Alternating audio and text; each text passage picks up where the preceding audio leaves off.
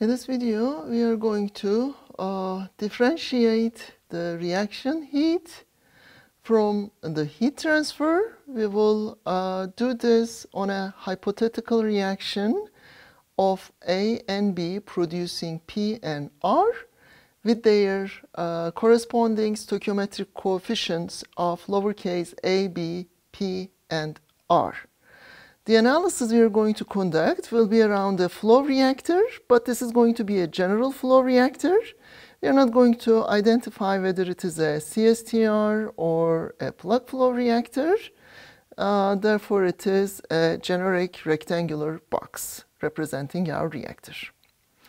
Here we are going to use the term conversion.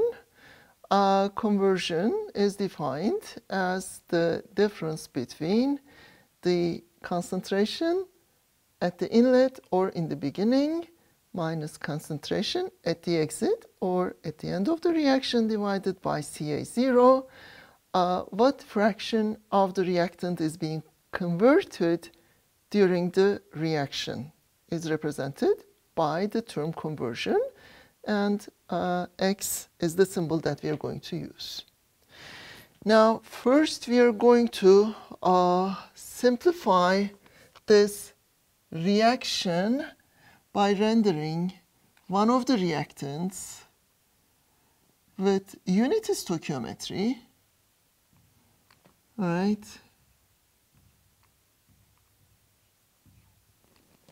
And that unity stoichiometry for component A allows us to define the conversion term.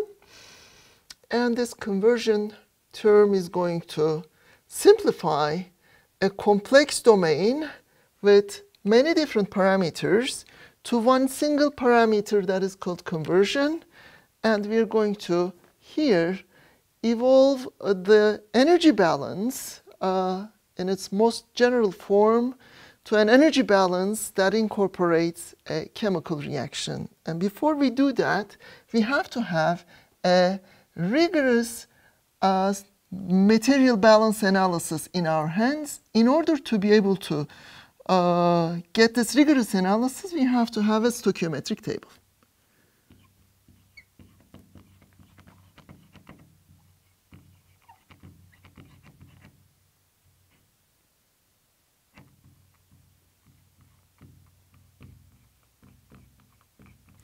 In this stoichiometric table, we will have species.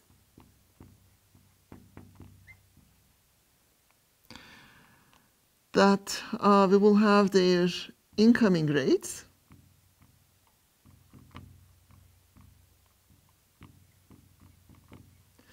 We will have the change that has occurred within the reactor.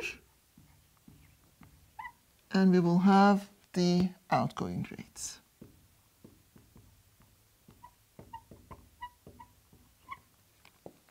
So our species are A, B, P, and R.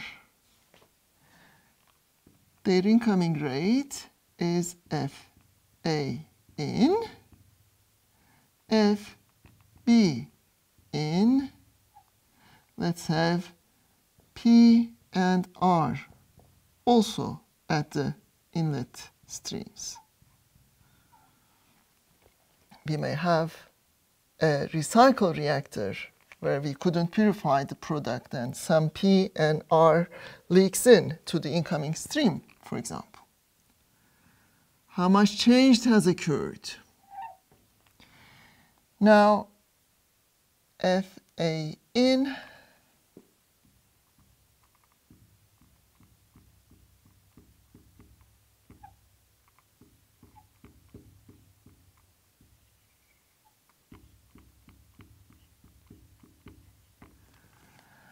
Okay, the conversion that uh, was already written was written for a batch reactor. Uh, for flow reactors, we define conversion in terms of molar flow rates, FA in and FA. So the change that we have for species A is going to be FA in times X. And at the outlet, we have FA. And FA is equal to FA in times 1 minus X. Okay. Now the change in B is going to be proportional to the stoichiometry of B to A.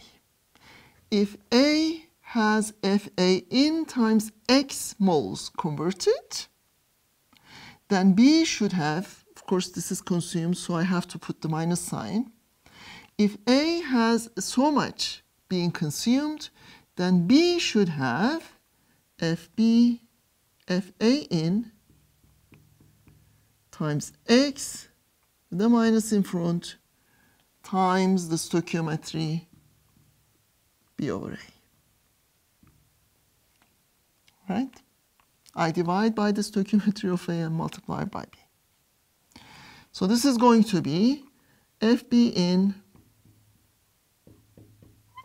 minus B over A FA in times X.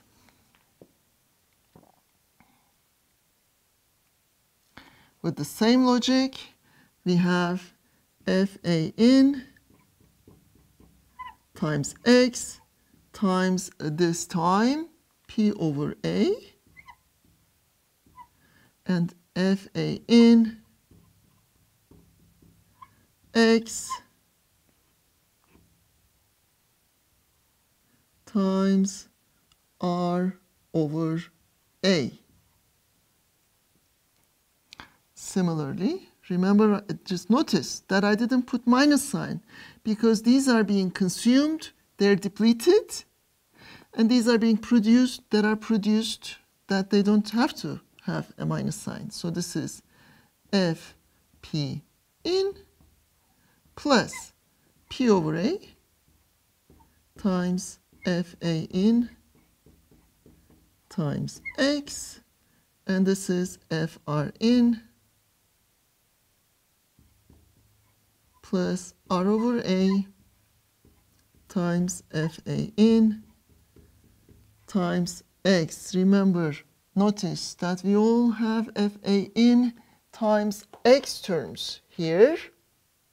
What I will do is just like I have taken this into FA in parentheses, I will take this one into also FA in parentheses.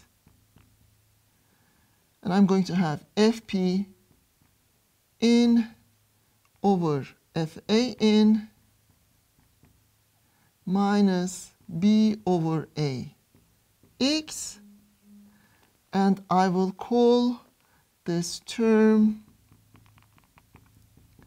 as theta B, feed stoichiometric ratio of B to A. And when I do the same for the others,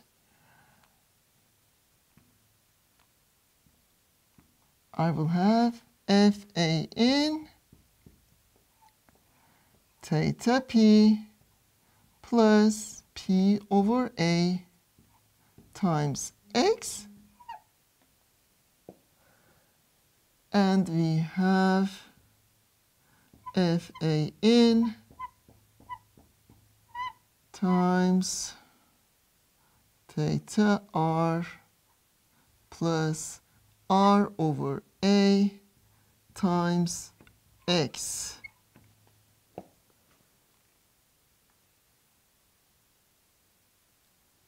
This is our stoichiometric table.